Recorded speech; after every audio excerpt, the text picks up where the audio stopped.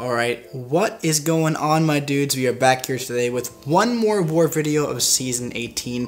This is going to be the highlights of the last, um, I believe it is 8, 9, 10, 11, 12, 5 wars? The last 5 wars of Season 18. And uh, the reason why it's going to be so many wars in one is because I took Path 9 um, for about four out of five of these last wars, and they were pretty much exactly the same. It was Mordo on Aegis Heavy and Nova on Aegis Intercept. So I'm obviously not going to show that five times because that's just insane, right? And I've already shown both of those fights so many times. So up first, we do have a different kind of thing here. We have a Doctor Doom on Path 8, all right? So um, I just was pretty much really trying to avoid pushing this guy to a special 2. I have 21 spores up on him and he's just melting. So I'm trying to bait out that special 1, but he is just not having it. And he's pushing me all the way back to the corner, but he's slowly melting and I'm kind of healing from willpower when he gets close enough for the long distance relationship. Here I baited out that heavy and I had enough power to go in and just finish him off with some basic attacks. So we got through that pretty easily. Uh, not too much trouble at all. Up next we have a rank 3 6-star Korg on Buffet Special Lock 1 with long distance relationship. This is a very, very beefy fight, so I'm tossing on a potion so I can get to max health here, and we're gonna go in, alright? Um, I was looking at my boosts here, I was thinking about uh, putting on like a green boost, but I decided I could just go in, oh I guess I did put one on. Never mind, never mind. Uh, this was a while ago at this point, so I did forget. Um, I think I'm putting on a 20%. Yeah, I put on 20% just because this is a uh, rank 3 Korg. So I'm going to start this off like any other buffet Korg fight. I'm going to bait out a heavy attack and we're going to go in here and then I'm going to parry him and I made a mistake here. I went for a medium heavy without checking his limber first and unfortunately his limber was too high but it's not that big of a deal at all because we do have those two debuffs on us now so we're going to be healing from willpower for pretty much the rest of the fight and this rank 3 6 star Korg is already half dead dude. He's got 27 spores on him locked in that degen. I'm just letting those spores do the work man. I'm just continually just letting him drain uh, one more heavy attack attack, and now from here on out, he's just going to be draining, dude. He's at 10%, and I could just hit into him, and I could have tossed off that special one and healed a little bit, but I just went ahead and killed him with the basic combo. So I do have a Mordo on Aegis Heavy here, and it is another rank 3. It is a rank 3 Mordo, 6 star dude. So um, I'm not going to show the entire fight, but I am going to show this one part that I showed in the beginning, because I thought it was really, really, really funny.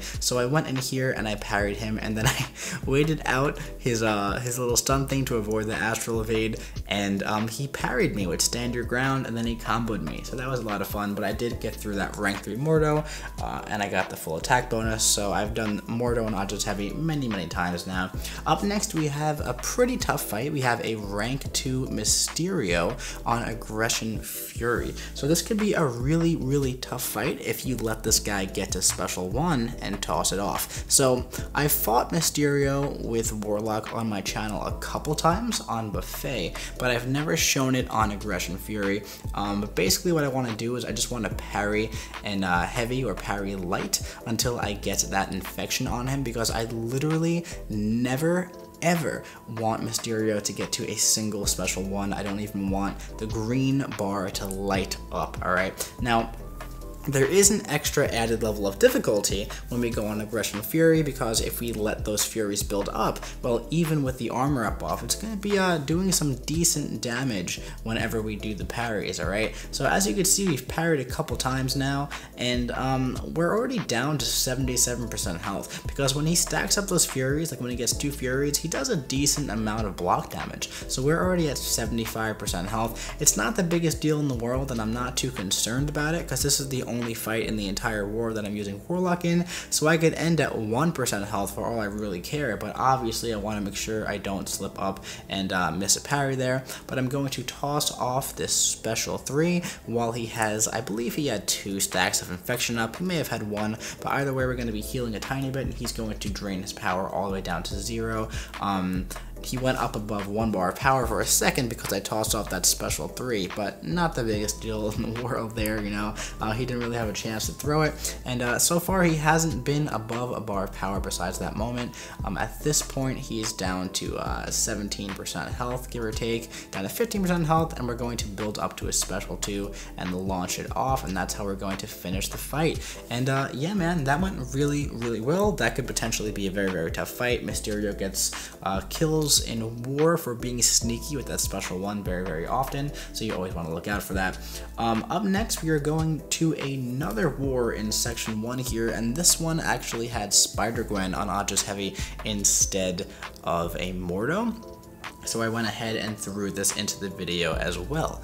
Um, so yeah, man, with uh, Spider-Gwen here, it can be pretty um, interesting because she can evade the second part of a two-part heavy, but like as you can see right there, um, so you really want to just uh, be very, very focused while you're throwing off that uh, heavy attack so that you can be ready to dex if she does dash in on you after she evades. But once you get those uh, just heavy things off, um, it's pretty much just a normal fight at this point. Spider-Gwen isn't the best defender as long as you can stun her, alright? Um, so at this point, I'm just baiting out that special 2 here, and I'm just trying to keep at least 10 spores on her if I can. Um, I wasn't able to lock in too many um, just because I was playing a little conservatively, just because I didn't want to get comboed after her evading, you know what I mean? So here there's the backup recovery, so I'm going to try and bait out that special one. As you can see, she has five of her Spider-Gwen charges, whatever they're called, um, at this point, so I really don't want to be hitting her when she isn't stunned, because I just don't want her to be evading. But what's so great about a Omega is that you could play incredibly passively, and um, as you can see, she's just draining dude, and my health is uh, pretty much at full, and I've been hardly hitting her. You know, I've been parrying, letting the spores build up, do a medium or a light, um, maybe throwing off a heavy if I'm feeling risky, and we're going to be ending this fight with pretty much a full yellow bar here. So um, yeah, I'd say that fight was pretty successful. Um, after this fight, we did have a Nova, an Aegis Intercept that I took with Doom, and I soloed it, and it was uh, very, very easy, and it was all very, very good. Um, I'm not going to show that fight because I've showed that many, many times. Um, I think I have the beginning here, but I'm going to skip to, I had a mini boss in the middle. I took this Venom on aggression, um, what's it called? Aggression armor. And um, yeah, I wasn't originally going to take this fight, but we were waiting for somebody to take it and people couldn't move, so I figured I would just take it and uh, get this guy down. Um, you know, normally when I fight Venom in like quests and stuff, I'm very aggressive with him and I push him well above special 2 and then I try and dex out his special 2 and I usually do it, but when I'm doing it in war, I really don't want to be dealing with his special 2, so I'm going to try and just bait out his special 1 as much as I possibly can, but as you'll see in this fight, he was being pretty stingy with his special attacks, man, so um, I played a lot of this fight just um, parrying and just letting the spores do the work. You know, I could have tossed off the heavy attack here, but like I said, I just want to bait out that special one. At this point, he's already down to 10 spores, unfortunately, so this fight is probably going to be a little bit longer than I wanted to, but as long as I don't eat a combo to the face or push him above to a special 2, I think we're good to go. You know, I have the death field up and he's up to 27 spores again, up to 30 full spores. I probably could have tossed off the heavy attack, but here I'm just going to quake him in the corner and just bait out those heavy attacks and just uh, get him down this way, you know what I mean? He's just not throwing off that special one, but here it throws it off, so I dexed all three of the beams there, and I'm to toss off a special one, and I'm going to regenerate a ton of my health, and I'm going to finish this fight at about 90%, bait out one more special one, and there we go, dudes. One more basic attack, and we are done with that Venom. Um, yeah, I mean, he has a lot of health, man. That was about 220,000 health, so it's not the smallest fight in the world. Um, up next, we're jumping over to Path 9. This is reverse controls. Um, I took Path 9 like most of the time for like this entire season, man. Because when I do reverse controls, I just swipe the other way. I don't, um, doesn't really bother me too much. I don't do anything special. I'm just I'm pretty good at it. I've done it a lot. I do it in AQ a lot. Um, and up first we have the Stealth Spider-Man, and Stealth Spidey can be uh, pretty tricky with that evade if you aren't ready for it. But once you get that evade out of the way, you know you can counter his heavy with your heavy attack, like I just did right there. And if you're using Omega, you could just let the spores do the work. As you can see, man, this guy is just draining. This is a rank five Spider-Man, but it doesn't even matter, dude. We're gonna even heal a little bit. We're healing up a tiny bit at the end of this fight. Very, very nice. Now up next, this is a very, very interesting fight here, man. Um, so I'll tell you what happens when we get to it, but I made a pretty decent mistake in this fight. Luckily, I did come back from it. But, um, you know, Omega's a very, very good matchup for Black Widow Clairvoyant. Now, keep in mind, she is a flow defender, so she's going to be gaining a lot of power um, because of flow periodically. Now, watch this. Watch this, man. I'm going to go back. We're going to watch this in slow motion, okay? I dex out.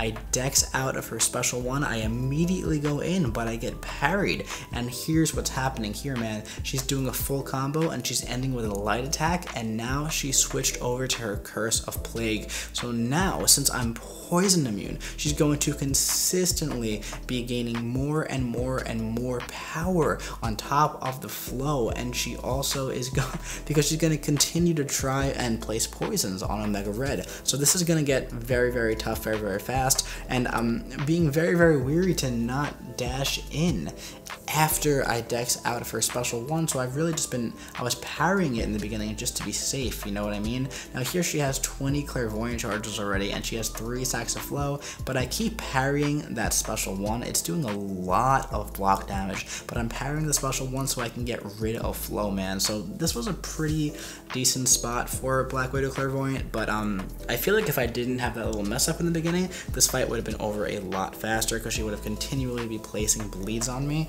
But um, yeah, man, I guess you can't dex out her special one and punch it anymore. But um, we got through it, we didn't die, and that's all that matters, man. Um, up next, we have a Quake fight. I believe I did speed this up. This was that middle mini-boss in Section 2, the one with the limited immunity at first, and she goes unblockable every uh, couple seconds, every 8 seconds, I believe. So this is pretty much a stun immune fight uh, for the first, like, 25 seconds, but once that's over, it's a pretty normal fight, man. Just gotta watch out for that unblockable.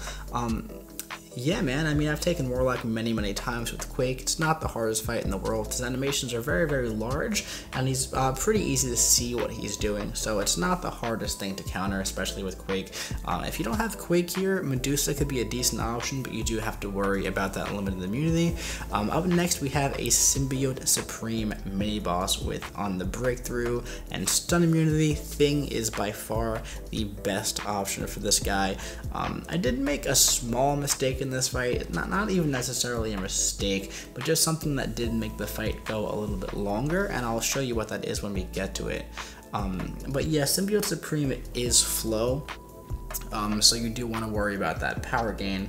Um, there, you know, I got the uh, the uh, what do you call it, the protection active. So he hit me a little bit with this combo, but it didn't do too much damage at all. So not the biggest deal there. Uh, tossing off that special too, but he is stun immune here on this node. So we're just parrying a bunch to build up those rock stacks again. Um, this is the last fight I need thing for, so I'm not too worried about taking some damage. All right. Now, um, one thing that's really really great great about Thing against Symbiote Supreme in general is that he's completely immune to Nullify, alright? So you can Dex and do whatever you want, and just be a normal fight. You don't have to worry about anything, okay? Um, so yeah, but before when I said that I messed up a little bit, it was just because I went and I used my Unstoppable to uh, lose my combo, right? And um, I think I may have been mistaken because I was thinking it was uh, what do you call it, uh, combo party or some other node, but the breakthrough doesn't really get affected by losing your combo, so I guess I didn't really mess up in that fight at all, and it went really well, so that's pretty cool. Let's see, up next we have this middle mini boss we are doing with Quake. This is an Ebony Maw fight, and I believe I forgot to speed this one up for you guys like I usually do, uh, so sorry about that, but this is a really quick one. Ebony Maw goes down really, really fast with Quake, uh, even on a mini boss dude. So um, Quake is really like the best option for Ebony Maw nowadays. Uh, the second best option would probably be Human Torch. I like usually use Human Torch in quests and stuff, but there's just like not much you have to worry about at all when you're using Quake. As long as you can just quick and shake your heart away, he'll be dead in about 35 seconds. As you can see, he's already dead right now. Um, one heavy attack and he's just gone flush down the toilet there, man. Uh, let's see, what do we have next? Up next, we're jumping back to another Path 9 video. A lot of these videos are very uh, jumbled back and forth here. Um, this is going to be a Dr. Voodoo. Now, Voodoo isn't the toughest defender in the world, but he could be kind of sneaky because he is a flow defender and he does have that projectile special too, alright? So um, we do want to try and bait out his special one just because it is reverse controls, um, just to make life a little bit easier for everybody, alright? We do have 23 spores up on this guy, so we're going to lock in that degen, but unfortunately he did get up to a special two. Not the biggest deal in the world, man. We're just going to uh, dex that out, and we did miss time the heavy there, but we got it right there. He has 20 spores, he is ticking down, and we're going to toss off a special one, and we are going into the next fight at 95%. So very, very nice there. Um, I forget what the, the, I think it was like a blade or something there. Um, but I think we're jumping back to another war, actually. This might actually be, it was the last war of the season here. We have a Captain Marvel movie on that shared mini-boss, okay? It has uh, the protection shielding and close encounters. It's very, very similar to the Captain Marvel in 6.3.4, the boss in Act 6.4, or 6.4.4. And um, yeah, man, when you fight Captain Marvel with Doctor Doom, it's a very, very, very simple fight. I could have tossed off some more special attacks here, but I was just uh, saving the recoil damage pretty much. So this lady was dead in less than 30 seconds, dude. I don't really like Captain Marvel movie as a defender, guys, to be entirely honest. I feel like she's a pushover. Um, up next, we have this Corvus Glaive on, um, what do you call it, on counter tactics and special delivery and kinetic transference, alright? So, um, yeah, Corvus could potentially be problematic here if you're not ready for him. He could kind of be problematic anywhere if you aren't fully prepared for him. But, um, Doctor Doom, he's gonna handle him just fine. I was healing up a little bit. It wasn't actually necessary, I don't think, but I believe this was the last war of the season, so we wanted to make sure we can try and secure masters here, so I just wanted to make sure we got as many attack bonuses as possible.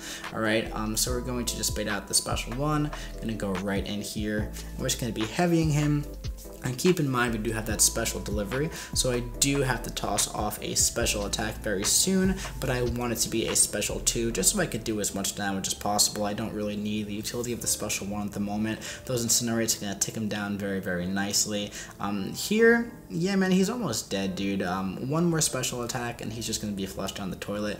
Um, yeah, one special one, and uh, that's it, man. This Corvus Glaive is just done. Probably should have brought that guy to attack, you know what I'm saying?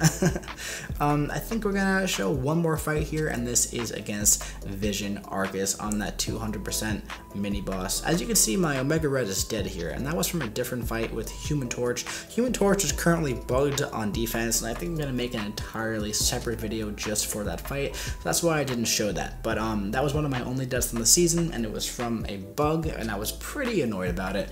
Um, but we'll talk about that at a later date. So um, we're to be tossing off an invulnerability boost here, just in case he pops up to a special 3, or he hits me with a special 2, alright? His special 2 is pretty hard to dex there, and it is uh, unblockable, so that just takes one out of the three invulnerability hits. Um, so that's why you toss that on here. Basically, you just want to build up to a special 3, and it's very, very easy when you're using Doctor Doom against Vision because you're going to be stealing all of his power gain buffs. So once you toss off a special 3, well, the fight is like pretty much over, and you're going to see how crazy it is right after this animation finishes, alright? So after you shoot him into the tower there, you're gonna do your typical medium, medium, light, light, light, medium, medium, and you're stealing all of his power gain buffs that you're already up to a special 3, dude. That is just absolutely insane. Combine that with Mystic Dispersion, and it's just a breeze,